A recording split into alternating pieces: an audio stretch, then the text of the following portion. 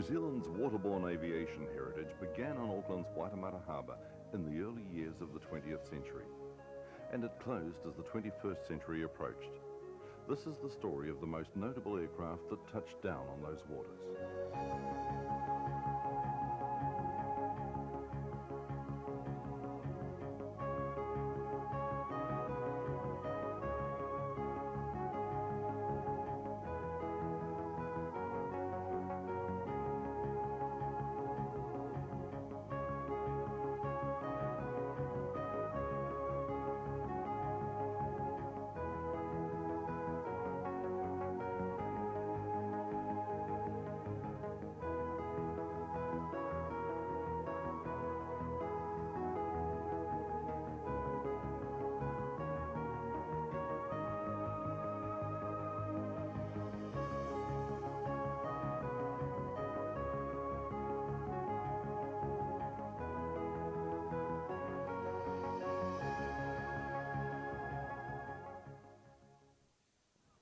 On New Year's Day 1915, the first flying boat designed and built in the Southern Hemisphere took off from the Waitemata Harbour here at Auckland.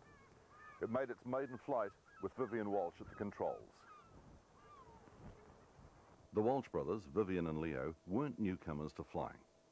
In 1911, Vivian made the first controlled powered flight in New Zealand in a Howard Wright biplane provided by an Auckland syndicate.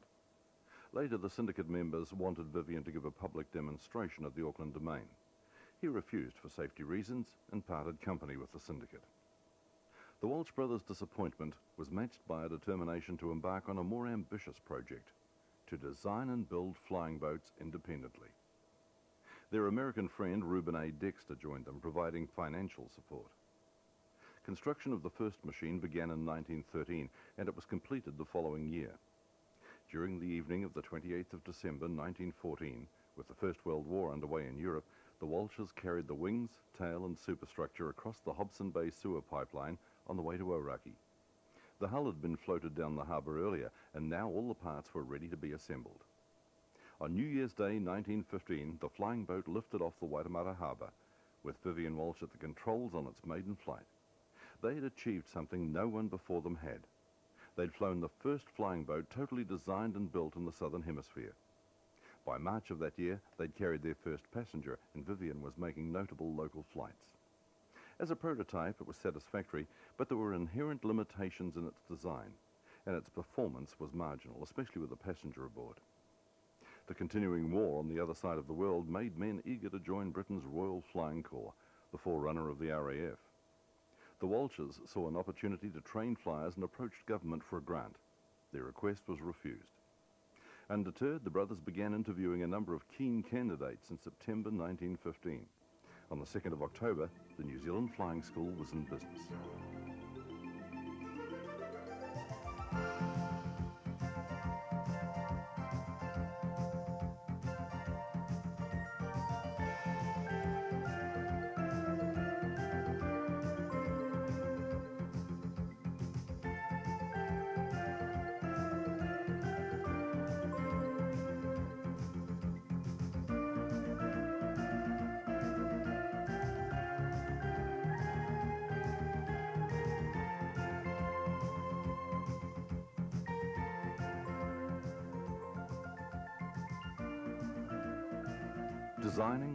And construction of new aircraft continued through into 1916, funded from the fees paid by the flood of applicants itching to learn to fly the aircraft now based at Mission Bay.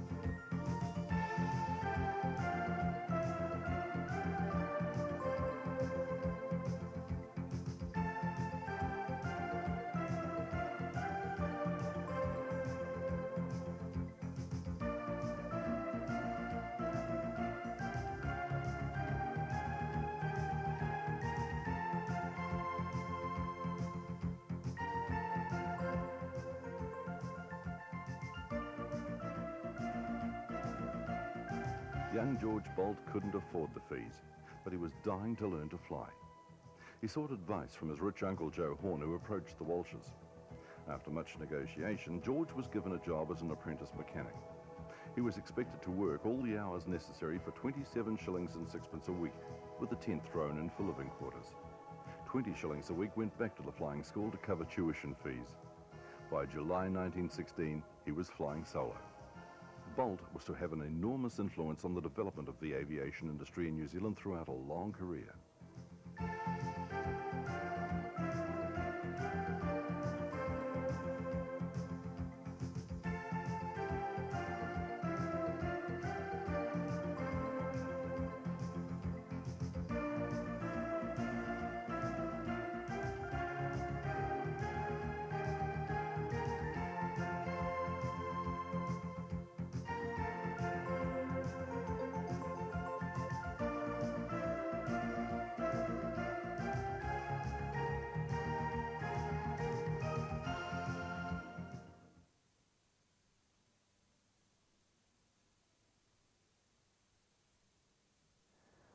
Mission Bay Reserve.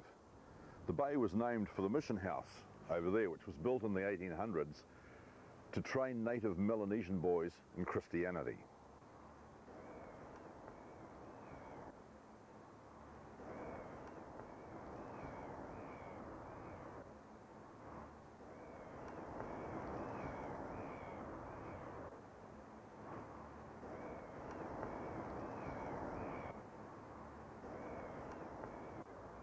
The brothers built three hangars behind the mission house, over there where the busy road runs through today, and further back behind that were the workshops and the camp where the workers and the flying school students lived.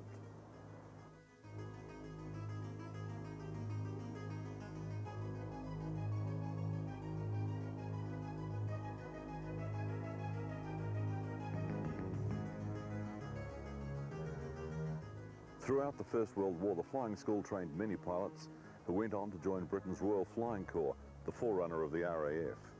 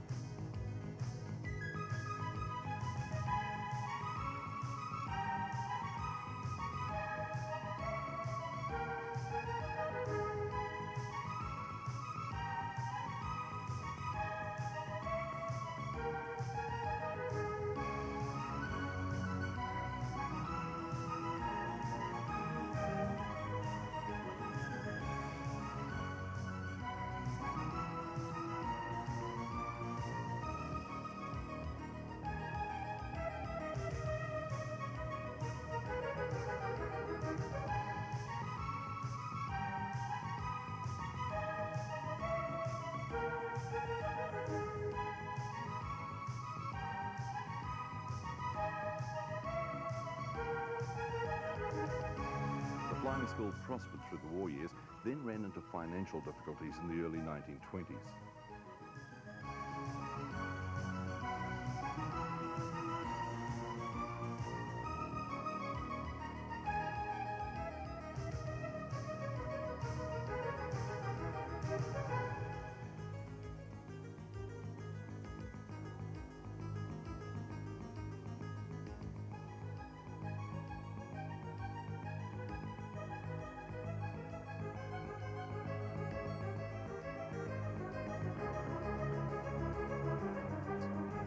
October 1923, the New Zealand Flying School closed its doors. And shortly after, George Bolt and his new wife boarded the paddle ferry Eagle for the trip up the harbour to the city for the last time. A year later, the New Zealand government bought the assets of the flying school. The remnants of New Zealand's pioneer aviation industry, the planes, the hangars, the equipment, were either burnt, sold, or left to rot.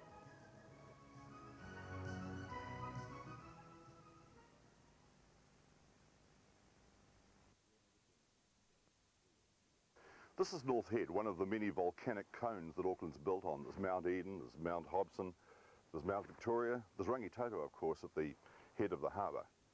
But it was over here to North Head that the New Zealand Flying School's first two Boeings are rumoured to have been brought. They were supposedly packaged up and deposited in one of the many tunnels that dot this headland. North Head's been a military establishment since the mid-1800s. Rumours have persisted that those two old Boeing aircraft were buried somewhere in these tunnels. Recent excavations have failed to find them, but if they do exist, they'd be the most valuable aircraft in the world. The Walsh brothers quit flying completely, disillusioned and with their unique contribution to New Zealand aviation unrecognised and unmarked by successive governments. No flying boats graced the Waitemata Harbour for the next 13 years. The first international seaplane flight to New Zealand landed on the Waitemata in March 1937. Captain Edwin Musick flew a Sikorsky Pan American Clipper into Auckland before an excited crowd on a survey flight that had begun in San Francisco. The Great Depression was almost over and there was a new mood of optimism in the country.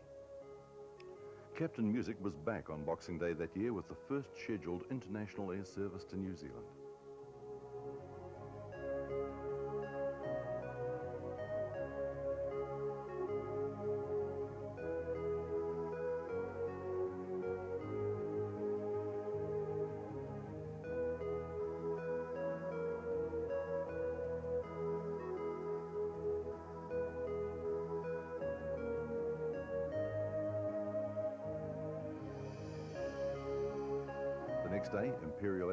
Flying boat Centaurus set down on the harbour at the end of a long flight from England, with Captain John Burgess at the controls. New Zealand was now linked to the rest of the world by air. Captain Musick flew on to Samoa, and as the Big Clipper left there on 11th of January 1938, the plane exploded and crashed, killing all aboard. Captain Edwin Musick's contribution to the growth of New Zealand's aviation industry was marked by the naming of Musick Point, a headland near Eastern Beach. War broke out in Europe for the second time this century in September 1939. In New Zealand, negotiations were taking place to establish our international airline, Tasman Empire Airways Limited, known by the acronym TEAL. Jointly owned by the governments of Britain, Australia and New Zealand, Teal began flying Trans-Tasman in April 1940, using British-built short S-30 Empire class flying boats carrying 19 passengers. The trip took between 8 and 10 hours, depending on the weather.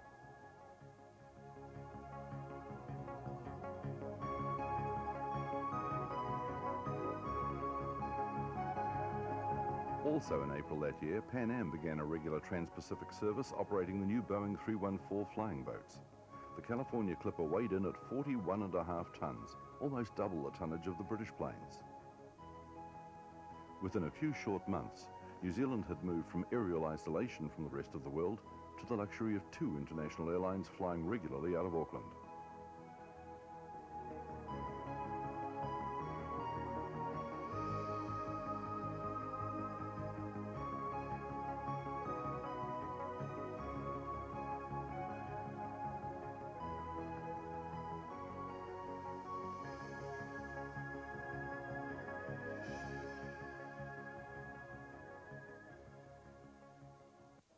Sight of the big flying boats landing on the Waitemata invariably brought Aucklanders to the waterfront to watch the spectacle of the huge planes thundering out of the sky. The patrol launches clearing boats from the landing path and making sure there was no debris that could damage the aircraft. The wait for the deep V of the hull to touch the water, and then the taxi up the harbour to the mooring buoy, or tying up at the Braby pontoon where passengers disembarked at Mechanics Bay.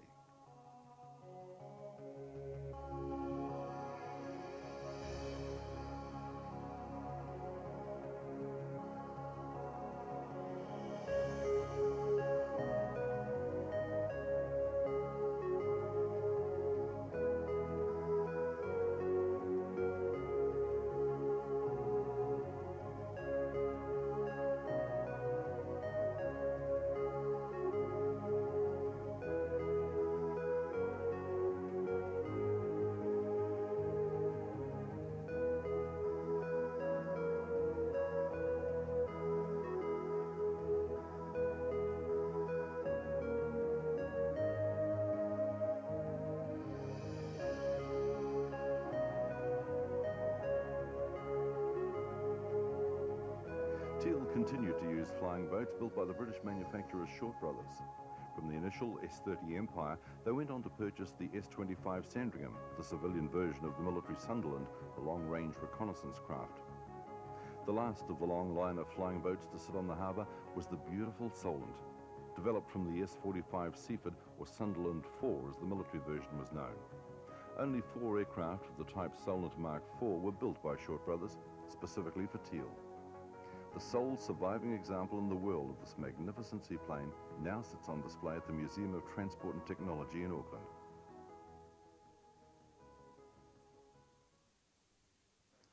This is the cockpit of a Solent flying boat. At the Short Brothers factory in Northern Ireland, they built just four of this model of Solent.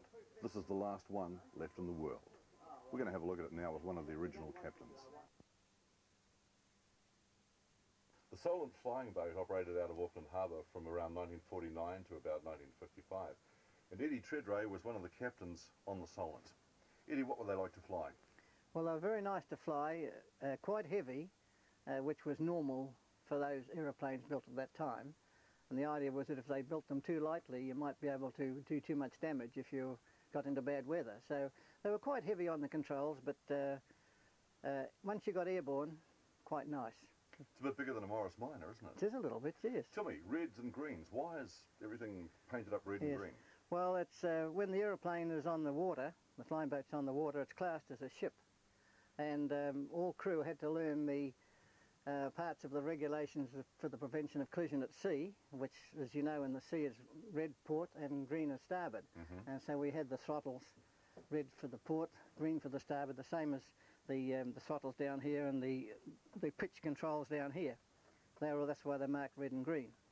Okay, now all the controls across here, Eddie, um, you've got some duplicates over on mm. this side for the co-pilot yes. on the other side. What procedures did you go through to start her up? Oh, to, well, to start them up, um, yep. uh, the engineer would be back in the aft panel there. He would be switching on the fuel tanks. He'd have the main fuel tanks on. And uh, up here, we would have to have the throttles closed, of course. The pitch would be in, in the, in the fine, fine position. And then we'd have uh, the uh, switches on, to, to put the switches on to start each particular engine as we started one at a time. And the engineer would be priming the engines back on his panel. And uh, we'd just push the starter button. And um, Where's the starter button? Start, oh good, they're up here somewhere. Let's find out now.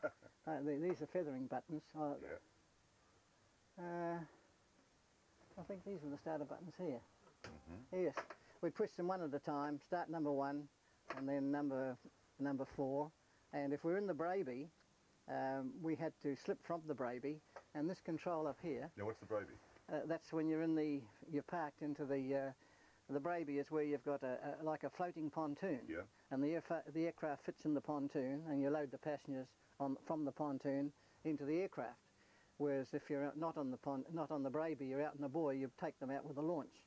So if you get your engine started, two of them, the one and four, uh, you then slip the the buoy, uh, the Braby, by pulling that control there, and that dropped the line at the back of the aircraft, and off you go. Then you start the two and three when you're uh, clear of all the um, boats and so forth. And if you're on the on the buoy, you'd start uh, one engine first, and then you'd start the other one, the two out, the one and four, and then the, the radio man who would be downstairs, he would, you'd say, you know, cast off, and he'd throw the, the rope off the bollard, and you'd slip out on the, uh, on the water with your two engines going, then start uh, two and three when you got out of, clear of all the other boats. So you're a bit of a seaman as well as a flyer? Oh, you, you had to be a seaman. Yep. And um, the engineer, he was the man that controlled the, um, the mast. When you landed on the water, and which, which, which you always did land on the water, and you taxied in, if you if you weren't under control, say you had an engine out, he would be responsible for putting the mast up to warning all other ships that you were not under control. Uh, and also, if you're going into a foreign port like Sydney or uh, any port at all where you had to have uh, spraying done, you had to notify the authorities that you had nobody who was on board that were ill.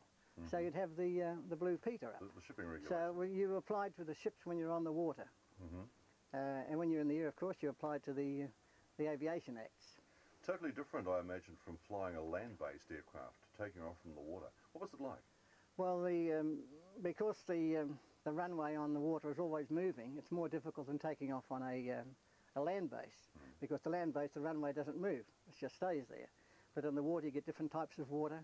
You get uh, the only other problem is what you can do is that you've got more more uh, chance of taking off in and out of, into wind because you've got a, a greater flexibility of the of the large amount of runway that's available. Yeah. The only thing you have to watch for is that um, you're not going to be taking off towards um, hangars or buildings. You know, you, you try and get a straight, clear takeoff all the time. What were they like to land?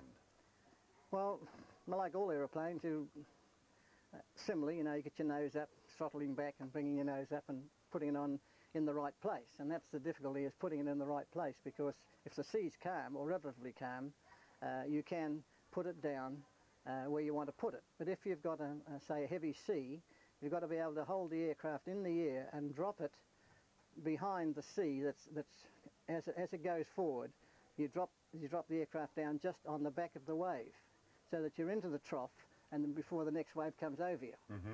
Because if you drop the aircraft in the front of the wave, you're going to, well, the nose will go down. Yeah. See, so and the nose will go down the, the, the front of the wave, whereas if you land from the back, your nose is up. And the maximum speed's what? 250 knots. Well, that was a maximum speed for the design of the, um, of the structure. Yeah. That's fairly slow by today's standards, isn't it? Uh, well, it depends what altitude you're at. Yeah. They're looking at a 747 or something like that. Yeah, well, they, their speed would they'd only be indicating about 250 at 38,000 anyway. Mm. So it's all it's true airspeed you're looking for, but this is indicated. Yeah. So that would be indicated of the of the, um, of the aircraft. So if you do 250 at uh, at 8,000 feet, you're doing about probably nearly 300 knots. So um, well, they get along, and if like that, they'd move. Um, and that's of course you'd have to have a lot more power on with a jet. Because the thing with a jet, or with this one, when we cruise with a piston engine aircraft, you're normally cruising at about 44% of takeoff thrust. But with a jet, you're cruising around about 90 to 92% of your thrust. Mm. So you're dragging, you're not far from the maximum at all times on a Yeah. jet. Eddie, thanks for joining us. Flying boats were in their heyday in the 1940s in Auckland, and one of the stewardesses going back to that time was Joy Hanna. You were Joy Patterson at the time. Joy, we're in the midships cabin of the Solent flying boat here. It's a bit like being on a bus with a luggage rack up there and the sort of woodenish walls around it. What was it like to fly and was it noisy? Not as noisy down here as it was upstairs, and the galley was very noisy. But the exciting part was takeoff. And imagine it as a, um, a fast boat with the, with the waves rushing past you. How was- close to the window? Oh, right up, Yeah. right up beside the window. Because we're downstairs here. Not That's many right. aircraft today have upstairs and downstairs. No, no, we're, but we're downstairs here. yes, and the belly of the plane would be in the water, Yeah. and we'd be, we'd be, um, the waves would come right up if, as we were taxing along the harbour, the Waitemata Harbour. What was it like in rough weather? It didn't worry us. oh, it worried you more when you got up. Yeah. Um, but uh, taking off, it, it didn't worry you. A, a a boat had to go out first and clear any um, any logs or Yeah. anything like that in the harbour. Make it all clean before you took off.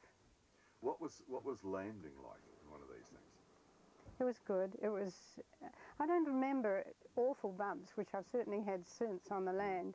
I don't remember that at all. It it just uh, you came down in the boat, and sometimes a bit quickly, and uh, this the water just spewing out from the sides, and I loved that bit. These, these weren't pressurized, so No. they'd get fairly cold when they.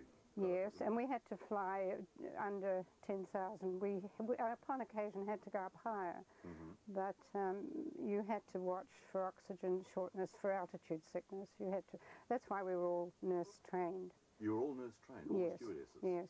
Uh-huh. The six of us, we had to be a certain height, a certain weight, and nurse trained. And very good looking, of course.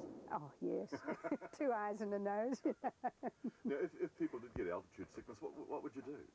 We had special treatments to bring them, and we did carry an oxygen bag, but um, we'd, we'd bring the plane down immediately to about 2,000. You know, but often in bad weather, you would be fly, flying at 2,000 anyway, because you'd fly under the weather. You'd, you'd um, quite often be skimming across the waves. In fact, one of my greatest thrills was coming down very low, and the bark Pamir was below, and it was in full sail. And we, we circled it twice before we went on our way to Sydney, but it was a beautiful sight. It must have been a very much sought after job when you got your job too, Joy.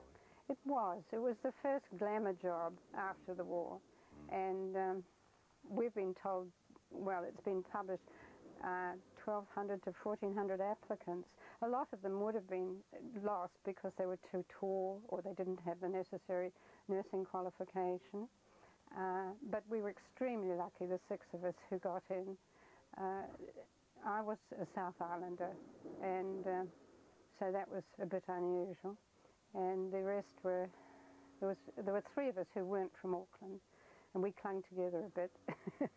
Had you had any flying experience before you worked for Teal? Just coming up on the Dakotas from the south, and and I had done it. Uh, well, at that stage, I was just getting into the um, tiger moths. I used to go out to Mangere for breakfast and fly out there. What was it like the first day that you worked as a stewardess I was scared stiff. Oh, we, we had a sort of we were had a sort of school. Um, th- th- nothing was established. We were new, and they didn't quite know how to treat us. And so we were to- told, given a list of questions the passengers would ask. They never did. and then we and the answers, and we were also schooled in um, resuscitation sort of things for altitude sickness and that sort of thing. Then we had to cook, but um, largely it was learning from the seat of our pants. Uh, my first flight, you flew with a steward, always a steward and a stewardess. By the way, we were flight stewards and flight stewardesses, which I like much more than the patronising hostess because it gives a feeling of service, and we were giving service to the passengers. But the first one, the steward suddenly said, a man became very sick, and um, the steward said, oh, he's got altitude sickness, and rang up to the skipper to tell him. Went up the gangplank to the skipper, and I stayed with him, and I thought, that looks like epilepsy to me. So I treated him in the way epilepsy was treated in those times. And uh, when he, the steward captain came down, he just snorted and said, yes, I had been right. But there were all sorts of problems. I had a woman going to labour with me uh, on my plane. Um, all kinds of things happened, and you really did need some expertise in that way.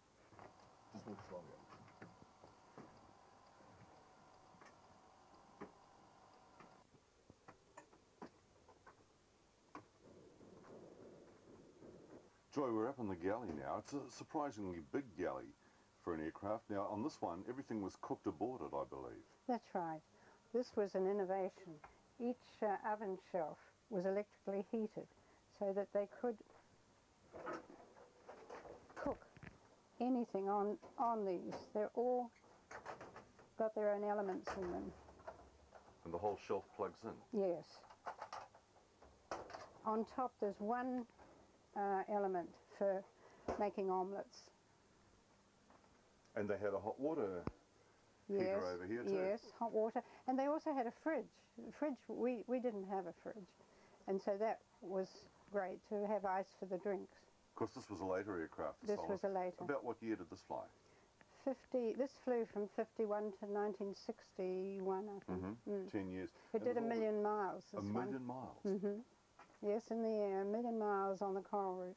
There's a lot of Toyotas that aren't going to do that. and these are all the storage cupboards here. Yes, and all the china cupboards, all the cutlery, everything had a place, and it was well pinned down. You had to be very organised. They'd set up the trays, and uh, 40 odd trays, and very organised. There were two stewards, and usually one, the main steward did the cooking, I understand, and the stewardess and other steward were helping in setting out. And of course, there were the drinks. The we'll have a drinks. look at that. Yes. Well, these came later than ours. Our ones, we went around and offered them drinks and sold them at half a crown a bottle, uh, spirits and uh, beer. And um, we controlled them. On occasion, we'd close the bar if things got a little bit um, bumpy or if passengers became obstreperous, which could happen. Quite a famous man had to be stopped drinking at one stage. But this one became a kind of shop, and uh, There's the little There's the little bar, hatch. And the bar's here. And there's all the drinks. But in, in my time, they were half a crown. So, for so whatever. the stewardesses or the steward would, would have to stand here and would sell the drinks. Take the drink orders, yes. And um, And this is all part of the galley. yes, part of the galley. but it was very successful with the, with um, with the passengers. There was no class in those times. It, it um, No business class, no first no class. nothing. Everybody was equal, and uh, we'd usually put the smokers upstairs because of smoke rising, and the mothers with children downstairs. Because this is a double, uh, virtually a double deck aircraft, isn't That's it? There's a deck up here and there's a deck down below. That's right, and very comfortable. Lots of leg room, which would be the envy of today's travel.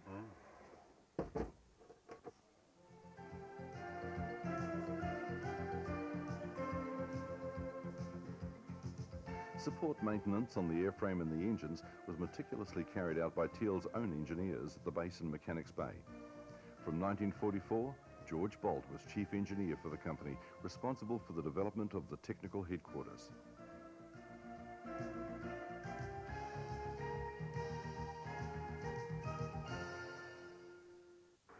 Ray Gasbridge is an aircraft engineer working on the engines on these big Solents. When did you start, Ray, as an aircraft engineer? I started in 1941, in July 41, uh, and spent uh, that time in the engine shop at Mechanics Bay, a very small shop by comparison with today, uh, and had the advantage of being trained by some rather competent tradesmen uh, in the use of old hand tools, a thing that they don't do too much today. And uh, worked actually then on engines and engine components. Um, and later, uh, I was became involved uh, in the propeller shop. In those days, propellers were a uh, separate item, Yeah. and the propellers and governors. We used to. Well, I worked on those.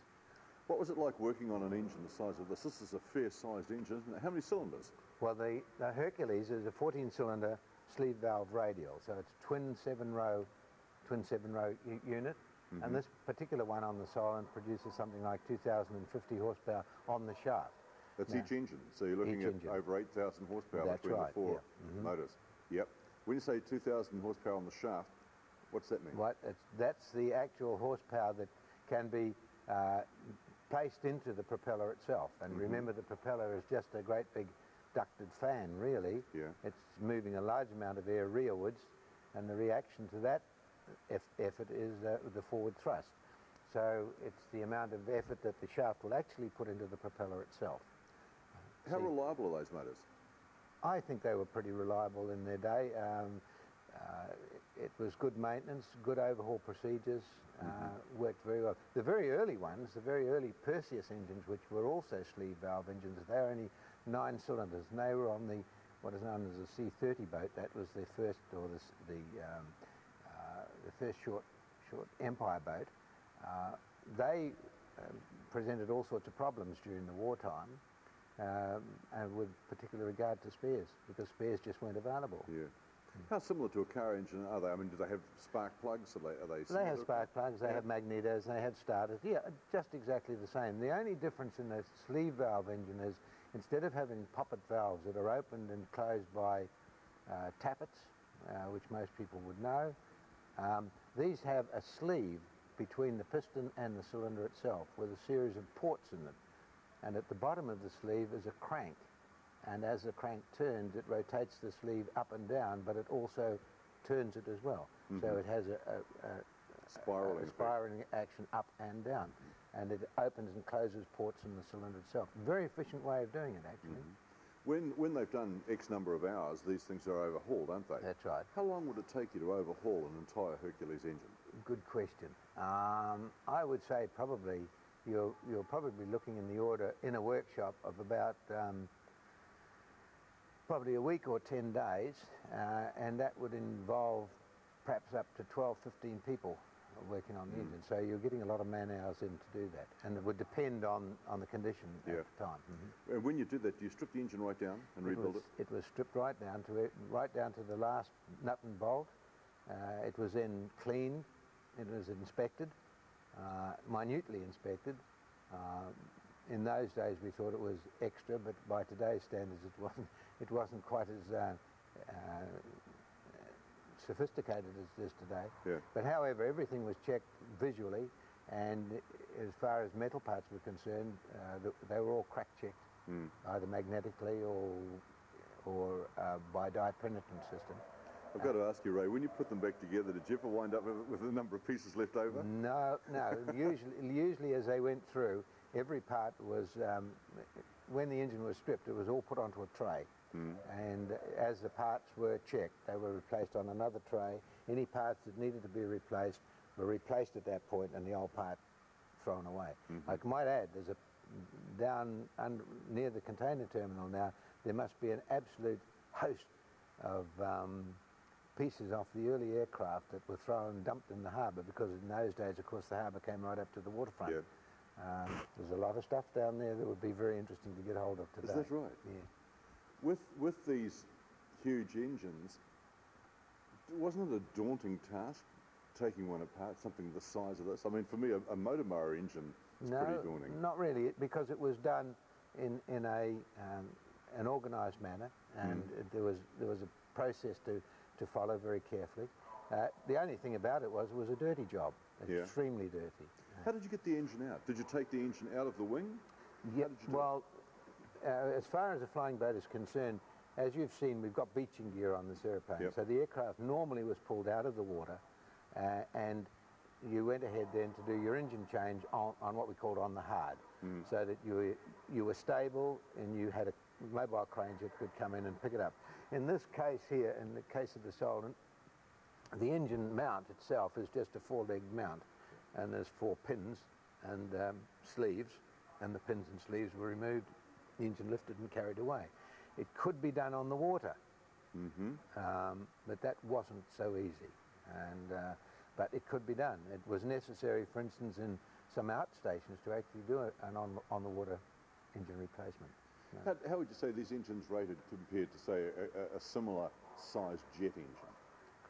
Well, the, the big thing is that the piston engine required overhaul at a much shorter life, and, and I would say probably you've got about 800, 800 to 1,000 flying hours out of a piston engine, whereas today jet engines, of course, are operating uh, basically on condition, and in many of the newer ones, uh, they only replace uh, components, certain components in them. For instance, turbines and the hot section of a jet engine may be replaced, uh, may be changed about every 6,000 hours. And so the engine may go through to 12,000, 14,000 hours of actual flying. Mm. So yes, a jet engine gives you much longer life. And of course the airplane's travelling faster, so you Yeah. get more, more uh, efficiency in that respect. From the mid-1950s on, Teal phased out the flying boats and began using land-based DC-6s operating out of Whenuapai Air Force Base. In 1954, the last remaining Solent was retained for the popular Coral route from Auckland via the Cook Islands and Fiji to Tahiti. She made her final touchdown on the 15th of September 1960.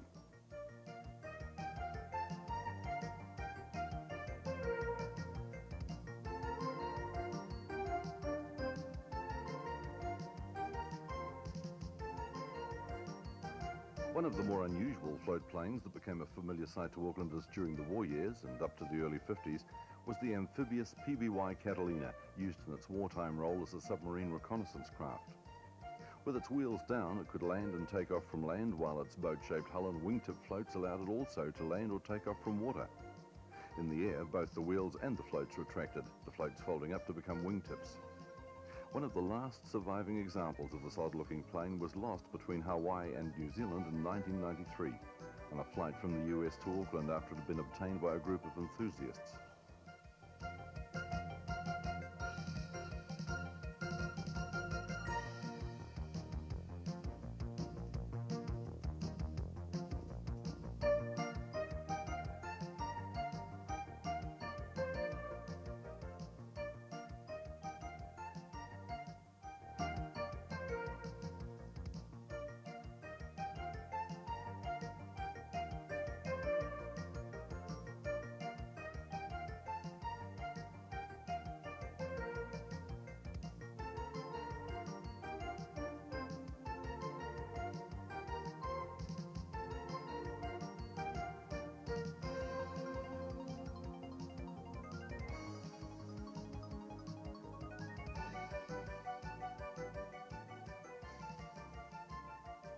After Teal shifted to land operations, the seaplane base at Mechanics Bay was used by tourist air travel. The outstanding personality in this operation was Captain Fred Ladd. This bubbly character would send the amphibian Grumman charging down the concrete slipway into the tide and hurtle off with a cry of a shower of spray and wear away.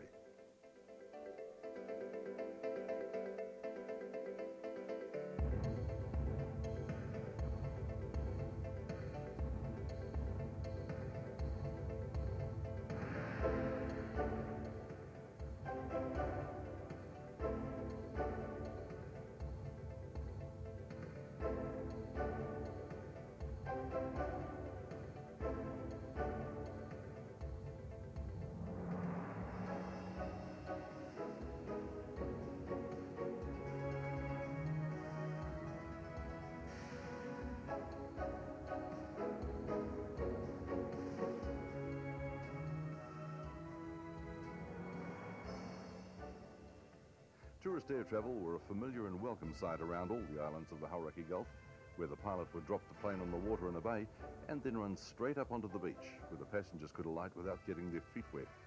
They operated as charter aircraft, delivery wagons, sightseeing flights, ambulances, and in any other role they could fill.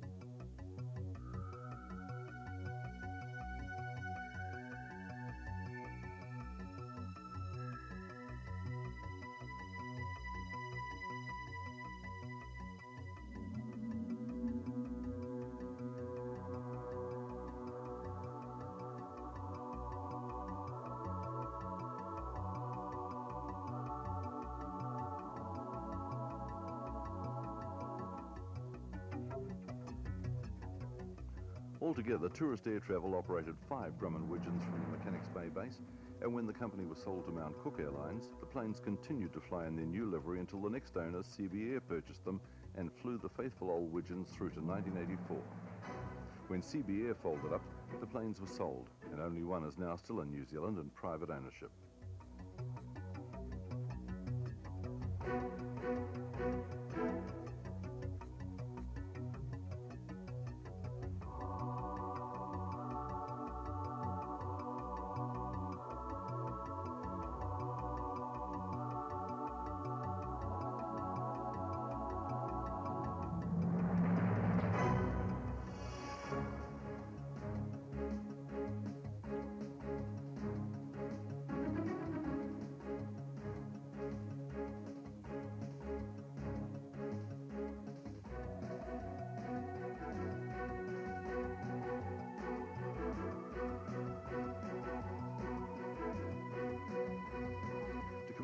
25th anniversary of the opening of Auckland's International Airport at Mangere in 1992, aircraft from all over the world took part in the biggest air show the country has ever seen. One that attracted great interest was this giant Russian military amphibian.